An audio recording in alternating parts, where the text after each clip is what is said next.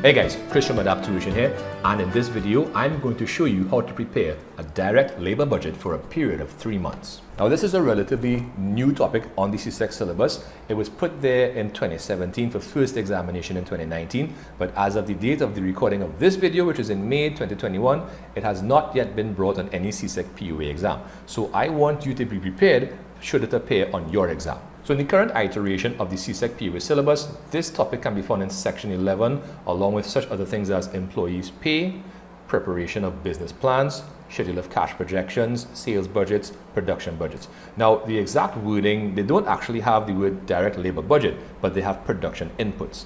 And if you're familiar with manufacturing accounts, we know that the inputs to the production process are materials, labor, and overhead. And in this video, I'm going to be, as I said, specifically dealing with the direct labor budget. And with that said, let's take a look at the information. Okay, so it says the direct labor budget. This budget shows the number of direct labor hours and the associated cost of same required to meet production targets for a given period of time. So as I mentioned before, I'm not really going to go into a whole set of theory behind budgeting, but suffice it to say, a budget is a plan.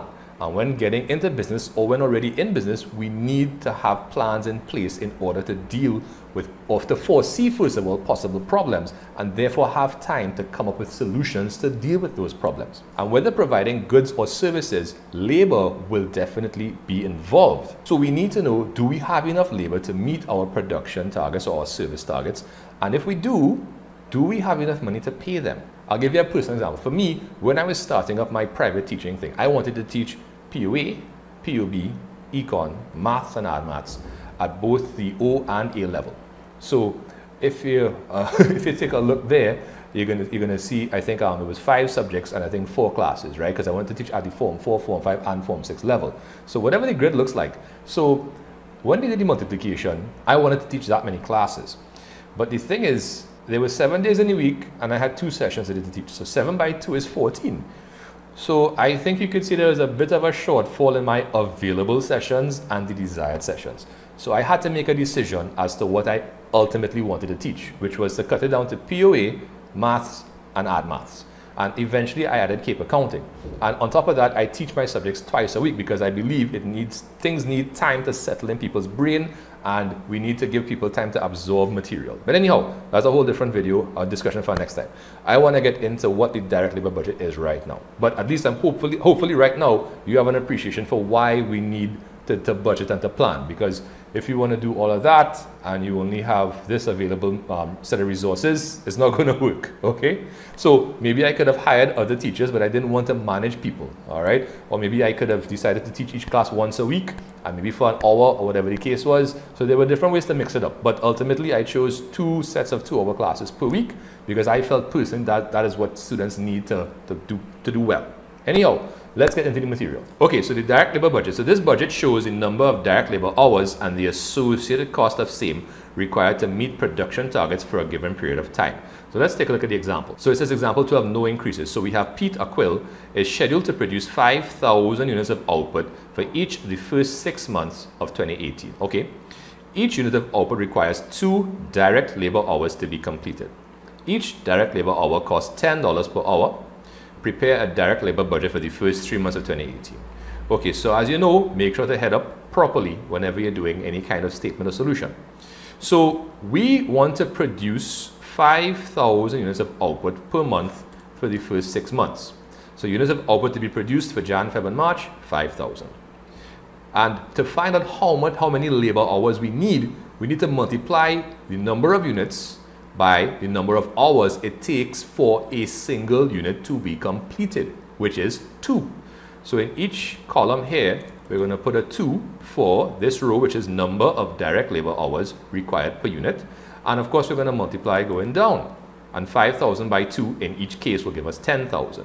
So that's how many direct labor hours we need. Now, how much does that cost?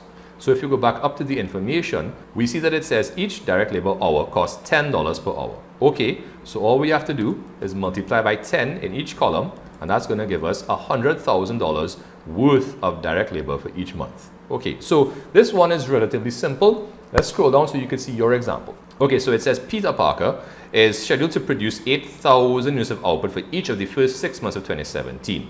Each unit of output requires four direct labor hours to be completed, and each direct labor hour costs $5.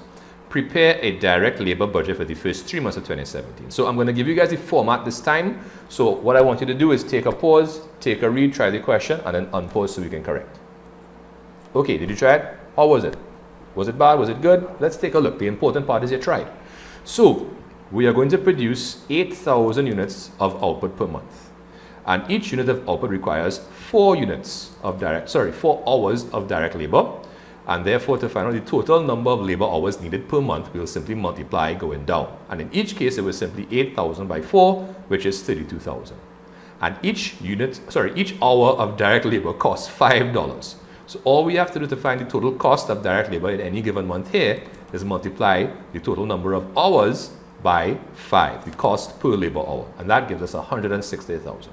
Okay, let's take a look at a slightly more involved example. Okay, so in this example, it says volume increases. So Val Armagulis is scheduled to produce 10,000 units of output in Jan 2012. And production is expected to grow by 2,000 units of output per month for each of the next five months. Each unit of output requires two direct labor hours to be completed. Each direct labor hour costs $5 per hour. Well, $5. Prepare a direct labor budget for the first three months of 2012. Okay, so again, we know what to do. Head up properly. Make sure your columns have their proper headings too. So let's start off with the number of units of output to be produced each month. They tell us 10,000 in January and expected to grow by 2,000 units per month for each of the next five months. So we're going to start with 10,000 in January. If it's going to increase by 2,000, 10,000 plus 2 is 12 and we increase by 2,000 again, giving us 14 for March. So 10 plus 2 is 12, plus 2 is 14. Each unit of output requires two units, two hours of direct labor to be completed. And to find the total number of direct labor hours we need, we'll simply multiply going down in each column. 10,000 by 2 is 20, 12,000 by 2 is 24, 14 by 2 is 28.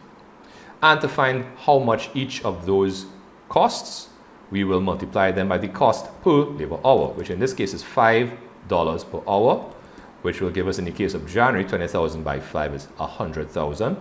24,000 by 5 is 120,000. And in March, 28,000 by 5 is 140,000. Okay, so we have just one change in this type of question relative to the previous type. So time for you to try one. Okay, so it says that Ari Yastak plans to produce 20,000 units of output in Jan 2014 and production is expected to increase by 5,000 units per month for each of the next five months. Each unit of output requires a half hour of direct labor to be completed. Hmm, we have a fraction. Oh my gosh. Each direct labor hour costs $10 per hour. Now prepare a direct labor budget for the first three months of 2040. Okay, so I want you guys to take a pause, take a read, and then unpause so we can correct. Okay, did you try it? How did it go? Let's let's take a look. So again, don't forget to head up properly, headings and columns. So let's start with the number of units to be produced. So it says here that it's 20,000 in Jan and expected to increase by 5,000 per month for the next five months. So we have 20,000 in Jan. 20,000 plus 5 is 25 and 25 plus 5 is 30. Next, we need to know how many direct labor hours will be required. Uh, so they told us a half an hour. So I know that some of you might have been like, oh, a fraction. What's going on there? All you have to do is multiply by a half or divide by 2 right? So 20,000 by 0.5 is 10, 25 by 0.5 is 12.5, 30 by a half is 15. And it costs $10 per labor hour. So all we have to do now is multiply each of those values by 10. So we're going to get in January 100,000, February 125, and March 150. All right, one more example, one more question, and we're done. All right, so this one says volume and price increases. So Exxon Bacon is scheduled to produce 12,000 units of output in Jan 2013, and production is expected to grow by 3,000 units per month for each of the next five months. Each unit of output requires three labor hours to be completed, so no fraction this time. And each direct labor hour costs $5 per hour, and the cost is expected to rise by a dollar per month for the next five months. Prepare a direct labor budget for the first three months. Okay, so let's take a look at this. So units to be produced, let's start there. So it says 12,000 units of Albert in Jan and expected to grow by 3,000 per month. So we know what's going to happen there, right? 12 plus 3 is 15, plus 3 is 18. each unit of output requires three labor hours to be completed. So we're going to multiply each of those numbers by 3. 12 by 3 is 36, 15 by 3 is 45, 18 by 3 is 54. Uh, each, right, so each direct labor hour costs $5 per hour and is expected to rise by a dollar per month for the next five months.